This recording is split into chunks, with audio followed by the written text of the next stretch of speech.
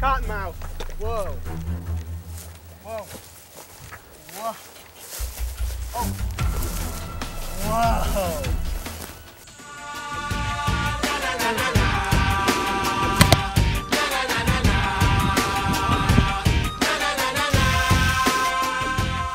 Wow. This is a water moccasin. And he is a very decent sized one. Look at him. Gonna move him this way. This is a snake that I am not gonna touch. This is a venomous snake for sure. If I got bit by this, this would be the end of filming. We would be going to the hospital for sure. Very dangerous snake that you definitely don't want to run into. One of the few, if not the only, subaquatic pit viper in the world, very, very cool. And they're piscivores, meaning that they eat fish and frogs mainly. Now, studies have shown that they will actually eat other snakes, and they will eat pretty much anything that they come across, including dead fish. They're one of the very few species of snakes that will actually eat something that's already dead. Look at that. Look at the fangs. You see his tail going off? Wow. Notoriously aggressive. This is a very, almost all cottonmouths will be like, rah, you know, stay away from me. I've got venom and I will bite you. And they almost seem to know their venom and the power that it has. They seem to know that they can kill you. It's very, very interesting. They act completely different than any other snake. Because look at that. He just bit, and look, even a tip of his fang came off. Wow. Something interesting about venomous snakes is that they actually shed their fangs. So he should be good even after biting them. But wow. This is definitely a very dangerous species of snake and very common too. You'll actually find these everywhere throughout their range in the south.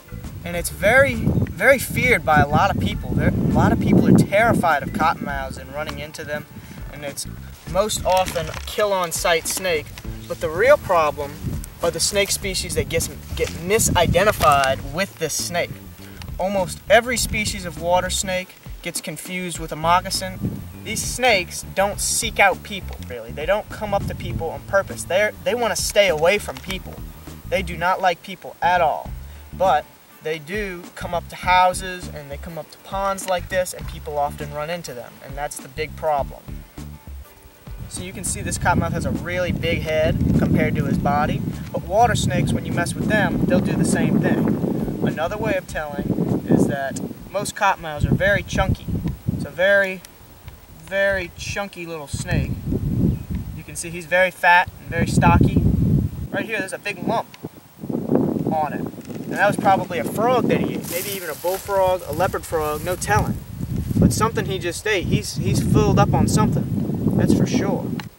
And you can see he's got a very muddy, dirty look to him. It's not a pretty snake at all. And not something you would ever want to keep. Whenever you run into these, don't even think about keeping it as a pet. That is a terrible, terrible idea.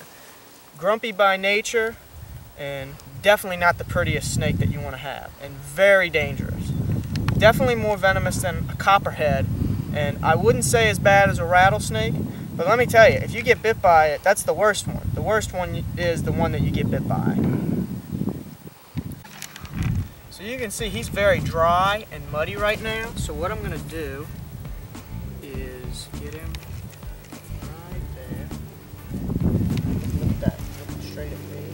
Nice, there you go.